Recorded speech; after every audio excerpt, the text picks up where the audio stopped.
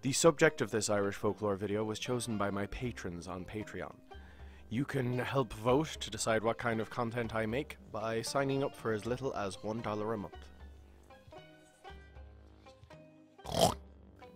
I'm Hog, this is the Dice, and this is the third or possibly fourth attempt at filming this video in the past two weeks.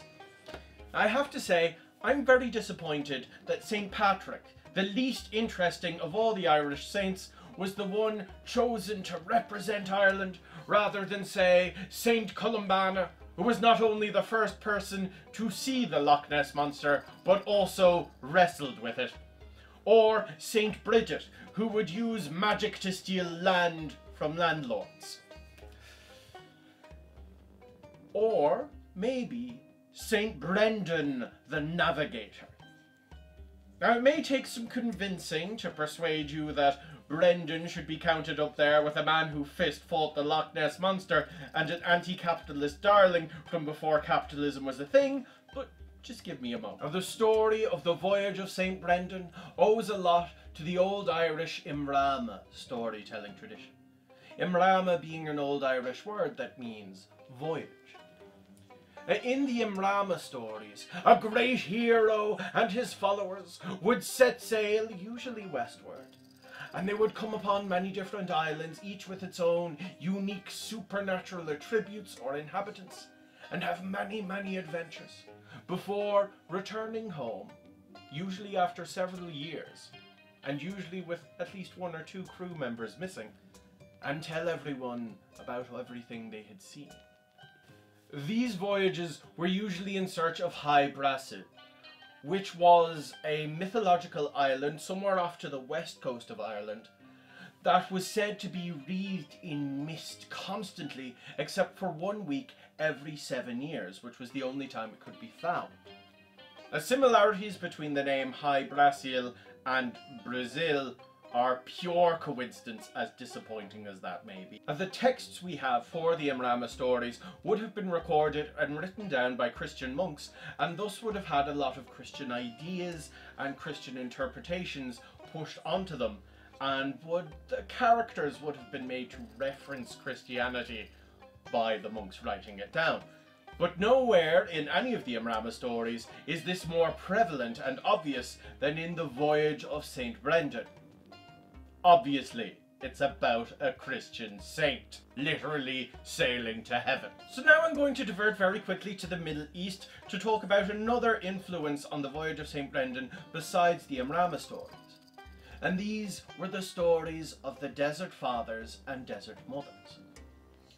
Uh, the Desert Fathers and Mothers were religious leaders such as Pachomius, Anthony the Great, and Hilarion, who would go out into the desert either to sequester themselves or set up a monastery in the relative isolation of the desert as a form of asceticism. Asceticism being severe self discipline and self denial, which was said to be like. Because Christianity was no longer being suppressed by the Roman Empire and Christian leaders no longer had a legitimate source of martyrdom, they had to inflict martyrdom upon themselves in some way. And that's what the ascetic traditions were for, so that they could carry on the feeling of martyrdom without actually being martyred. Uh, you may be wondering what a bunch of monks and priests and monasteries in the desert in the Middle East might have to do with an Irish monk sailing out to sea for years on end. And while stories of the Desert Fathers and Mothers certainly did make their way over to Ireland, and many Irish monks and religious leaders would have wanted to emulate what they did and really pull out that ascetic aesthetic. There isn't exactly a huge abundance of deserts in Ireland. And so they would set sail for months or years at a time, or sometimes make themselves hermits on small islands so that they could get the same kind of isolation, the same kind of asceticism as the Desert Fathers and Mothers, but well, in somewhere more environmentally accessible to people living on an island. Now, there's a lot of examples of asceticism in the Voyage of St. Brendan. Brendan and his monks, they fast for 40 days and 40 nights before setting out on their journey. Brendan is constantly forbidding the monks from eating or drinking when they come upon food before finding some sign from God that it is appropriate to do so. When they get stranded in calm, still waters, Brendan says they must pull in the oars and take down the sails and trust in the will of God. And when they find St. Paul, Brendan and Paul have an argument about which one of them is inflicting the most suffering upon themselves and therefore is the most beloved by God. It's all over the place. It's a major running theme throughout the story of St. Brendan's voyage. Uh, this idea of monks and holy people going out sailing on long voyages and hermiting themselves upon islands in order to emulate the desert fathers and mothers was almost definitely influenced by the already extant indigenous Imrama storytelling traditions of Ireland. And so we could see the voyage of St. Brendan as being like a kind of fusion between the native Imrama storytelling tradition and the traditions of the Desert Fathers and Mothers that had come to Ireland from the Middle East. And more than that, the story of the voyage of St. Brendan, it spread throughout Europe and many European countries have their own version of the story. It's always about St. Brendan, who was always from Ireland, but they each incorporate different elements into the story that reflect local storytelling traditions, which is normal. It's called a migratory legend, though it's a less extreme example of a migratory legend than others you could see, such as uh, the Wild Hunt is a very good example of I, I'll go into the Wild Hunt in another video. That's an entirely different video. uh, down through the centuries, people have tried to identify the various islands that St. Brendan landed upon and the Land of Promise itself. And while whether or not he actually went on this voyage is kind of in doubt, he was a, almost certainly a real person. There almost definitely was a St. Brendan. You may be thinking that, of course, how are they going to identify any of these places? He sailed by an island where demons were throwing flaming weapons at the boat and a giant crystal pillar floating on the sea. Those aren't real things.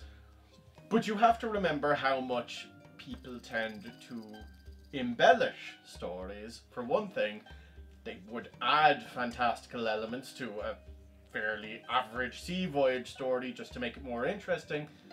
And also how an interpretation of the unfamiliar may come across as fantastical.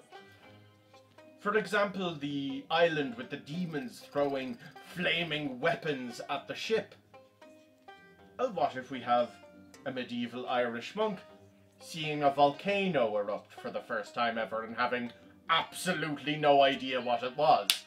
Or the, the great big crystal pillar could have been an iceberg. And those interpretations of what was seen have been around for a long time. As I said, down through the centuries, people have tried to work out what place the land of promise would be, and it was called St. Brendan's Isle. And some have even hazarded the guess that it is in fact North America and that we have reached it and discovered it and it's a real place. And they use this to say that it was in fact St. Brendan who was the first person from Europe to reach North America. In fact, the adventurer Tim Severin, he even reconstructed St. Brendan's ship with period materials and proved that it was possible for St. Brendan to have made the voyage by actually doing it himself in a period ship.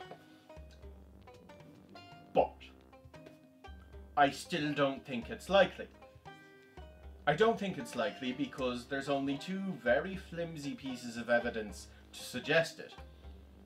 One is that the Vikings said that the Irish had reached North America before they did, and two was because people just kept not finding St. Brendan's Island, the land of promise, and just kept pushing it further westward.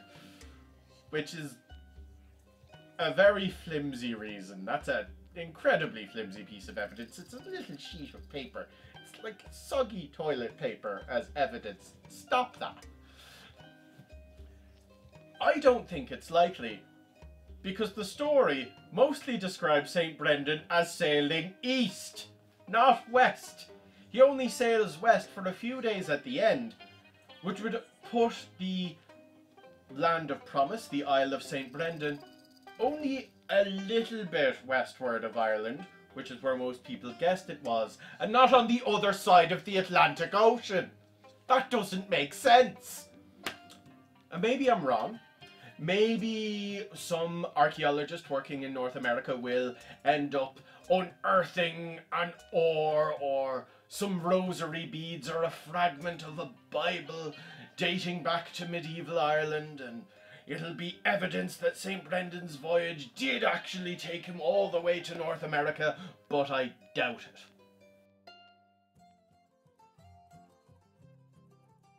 Thanks for watching this video on analyzing the voyage of St. Brendan. Yes, I'm doing the analysis and the stories separately now, which I have to say is making a huge difference to my productivity. It's much, much easier doing it this way, and now I get to do fun little editing jokes in the analysis again, which is nice. It's very nice. It's going to let me be way more productive, and it's also good for the algorithm because the more often I upload, the more YouTube likes me. But especially thanks to all of my Patreons, including Ash Ashcarp and the other names you see scrolling across the screen. If you want to support me and my work, you can sign up to Patreon. You can donate to my Ko-fi. You can buy my merch designed by my wonderful wife. Or, or if you don't have money, that's also totally fine. Likes, comments, subscribing, sharing, that's all very, very, very useful and really helps me a lot. So, thank you if you do that. Now, you may have noticed things have changed a little bit, and they're going to be changing more. They're going to be changing a lot, and that's okay. Change is good, even if it's a little bit scary. So the changes, they're going to be even more in the coming months. So look forward to that, and do remember that your applause is the only way to counteract my daily chant of I don't believe in fairies. Around Tierra del Fuego and up the warm Gulf Stream. He crossed the last horizon, Mount Brandon was in sight. And when he cleared the customs into Dingle for the night,